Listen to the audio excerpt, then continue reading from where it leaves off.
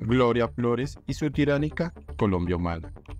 Columna de Salud Hernández Mora para Semana. No sé quién es más peligrosa para las libertades y la democracia. Si un espantajo iletrado cuya sola virtud reside en su espíritu de servir la calle, o una empoderada activista radical capaz de mentir de cara al público con insultante desvergüenza. La irrisoria sentencia de esa operata chavista, llamada Tribunal Supremo de Justicia, ha sido el colofón a uno de los episodios más deplorables de la reciente historia de América Latina. No solo por los protagonistas, sino por los miserables personajes secundarios que desnudaron su verdadera esencia absolutista.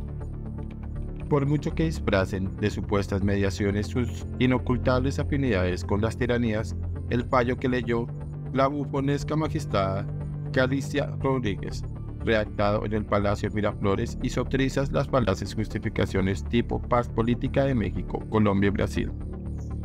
Cualquier dirigente que persista en avalar a Maduro con su silencio, mentiras y propuestas delirantes solo merecerá el desprecio de las sociedades libres. Y la senadora Gloria Flores se ha ganado ese vilipendio. Elegida esta semana presidenta en la Colombia Humana, punta de lanza Gustavo Petro tuvo el descaro de afirmar que el sistema electoral venezolano es robusto y garantista. No fue lo peor de las infames palabras de quien dirigió en el pasado una ONG que tuvo estrechos nexos con el ELN. Más grave resultó su flagrante mentira. Yo no he oído a ningún organismo que diga que hubo fraude en Venezuela.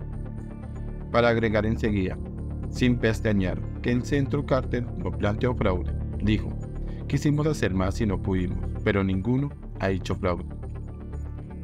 La nueva timonel del partido presidencial debe pensar que habla para idiotas, porque aún resuena la declaración de la citada ONG estadounidense.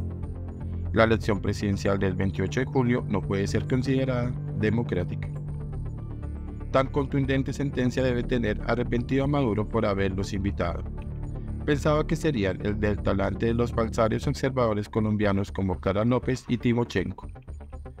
También olvidó flores a los expertos de la ONU que, rompiendo el absurdo acuerdo con la dictadura de mantener en privado sus conclusiones, desacreditaron los anuncios del CNE dando la victoria a Maduro, sin la publicación de sus detalles o la entrega de resultados tabulados a los candidatos.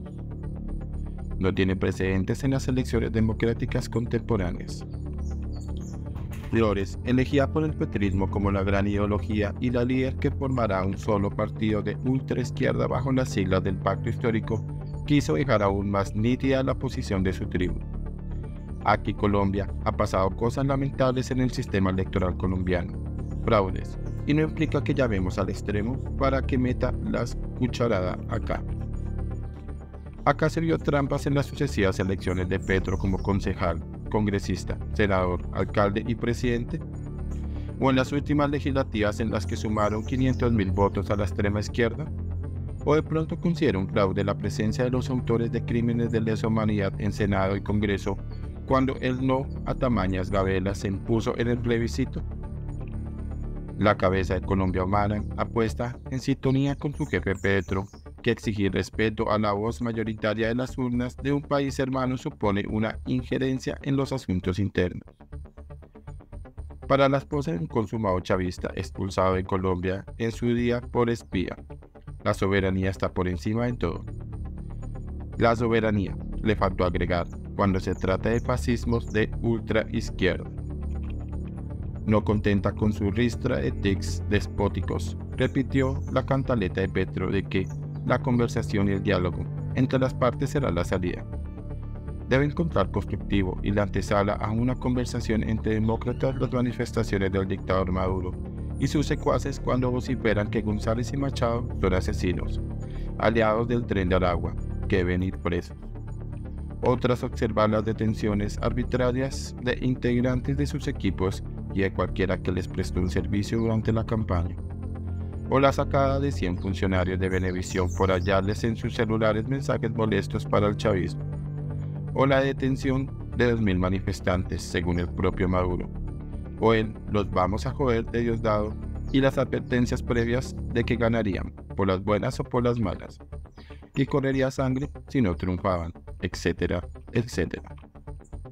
Tampoco es que se pueda esperar nada diferente de un partido cuyo mandamás supremo acusa de asesinos a quienes le grita fuera Petro, y que ha llegado a la demencial propuesta de que la intachable María Corina Machado y Mundo González formen gobiernos con los criminales. El grotesco fraude también ha demostrado quiénes son los verdaderos demócratas. Gabriel Boric, antiguo tirapiedras que gobierna con comunistas, encarna al ser humano convencido de que la defensa de las libertades está por encima de las ideologías. Un dictador, llámese Pinochet o Maduro, será siempre igual de repudiable.